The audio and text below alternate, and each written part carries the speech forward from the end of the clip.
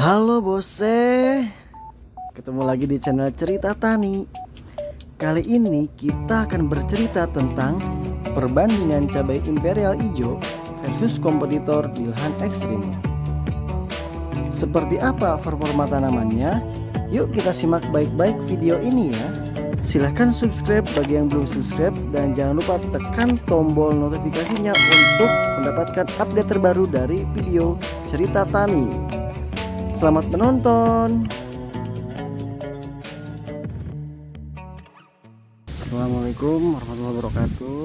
Kali ini saya akan mengabarkan performa cabai imperial hijau di Kabupaten Karanganyar Tepatnya di Mojogedang, Buntar.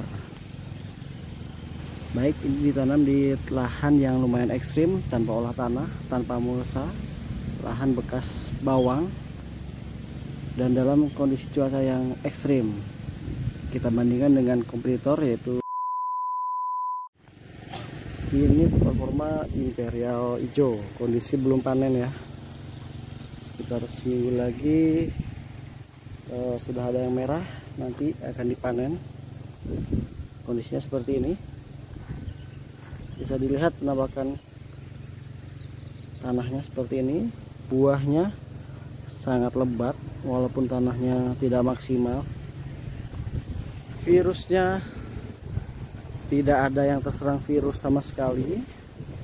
Masih hijau terlihat. Baik. Kita bandingkan dengan ceknya. Oke kita ikuti. Ceknya yang mana? Ini dia ceknya ya.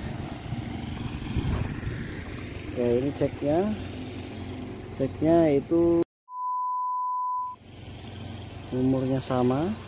Ini umur berarti berapa mas?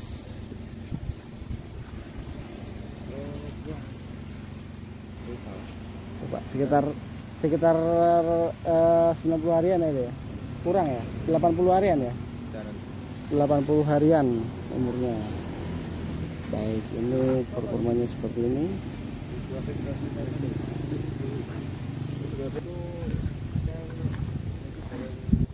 Oke. virusnya juga lumayan signifikan dan keritingnya lumayan banyak juga Oke.